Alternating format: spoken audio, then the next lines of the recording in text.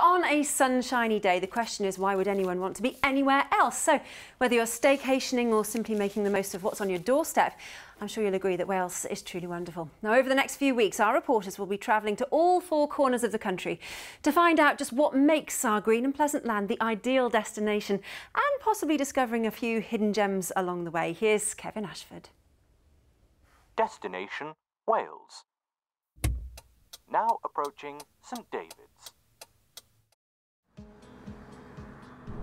One of my favourite parts of Wales to visit does require a bit of travel commitment, shall we say. You can't get much further west, but I promise you, all the driving really is worth it. You can't always guarantee the weather in this part of Pembrokeshire, but you can guarantee the views. And look at that heather. It's just astonishing. It just it fills up your eyes when you stand in the middle of it, and the smell of it is like honey. It's just beautiful. For years, these landscapes have helped inspire author and artist Jackie Morris. If I'm working on illustrations, I carry the text in my head and I'm walking and I'm thinking about it. And after a while, you just find that you're, you're pulled out of yourself, really. And it gives you that space for ideas to come in sideways, really. This is the coastline that surrounds St David's, Britain's smallest city. It's always been a bit of a hidden gem for tourists, but more and more visitors, it seems, are making the trip to discover what's on offer. It's the scenery, it's the quietness, it's the people, it's the friendliness, and then you've got the cathedral, and it is its own it's its own place, isn't a it? little personality, I It Just feels quite Beaches, cosy, really. Yeah, are beautiful. Oh yeah, around the outskirts, out St David's, you've got gorgeous beaches, haven't you? Yeah. So that's what we're going to do next. We're going to go and explore some beaches. We've been a lot of places around the country, but around here, I'd say definitely the coastline is the best around the UK.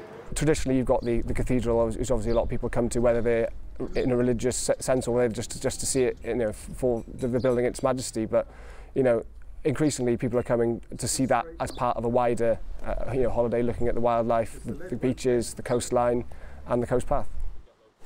They also come here to do this.